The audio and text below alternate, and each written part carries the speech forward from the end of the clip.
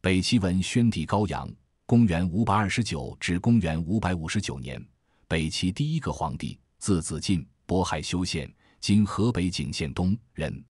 他是东魏宰相高欢的次子。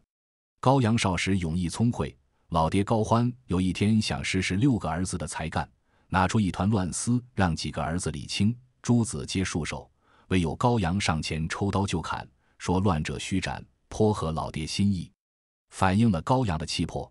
不过治国最需要李乱思的耐心，所以高阳没有当个循规蹈矩的好皇帝的耐心，也说明他爱用刀解决问题，同时也使他成为有名的一代暴君。虽然没有夏桀、商纣的知名度高，其残暴荒淫的档次并不在桀纣之下。东魏武定七年（公元 549），大将军高阳兄程谋取代东魏，未及实现而死。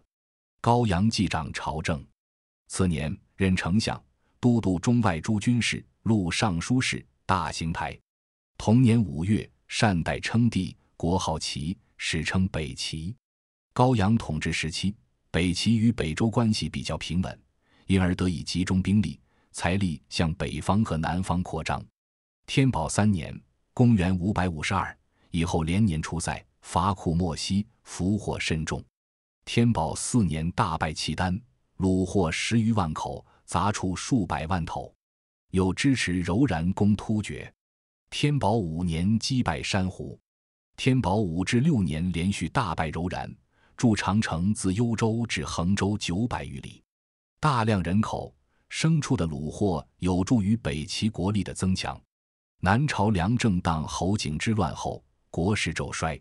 天宝三年，北齐兵锋南抵长江。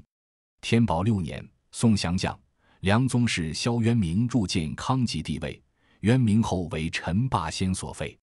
齐军渡长江，占领石头城，为陈霸先击退。天宝七年，齐军又南下，一度至建康附近。北齐疆土扩展至淮南，终与陈朝以江为界。高阳初即帝位时，比较谨慎，以法御下，虽勋贵外戚也不宽容，政治清明，人得尽力。军国大政多独自决断，每临战阵，身当矢石，所向有功。几年以后，开始以功业自傲，荒淫酗酒。思维暴虐，他最喜欢的是拿大肠锯锯活人和生煮活人，所以在金銮殿上特地摆了一口锅和一个大锯，喝醉了就要找人来杀。有时嫌被锯的人叫的不好听，还要去亲自下手锯。后来宫里杀人太多，司法部门就把死囚装扮成禁卫军，起名叫供狱囚，让高阳随时有人可杀。汉族士大夫杜弼以为治国当用汉人。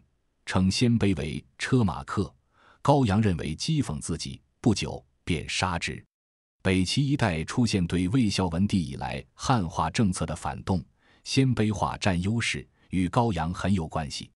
但他虽昏虐，而尚能任用汉人士族，如杨殷为宰辅，维持匡救，时有赖焉。所以时有主昏于上，正清于下的说法，北齐政权得以苟延下去。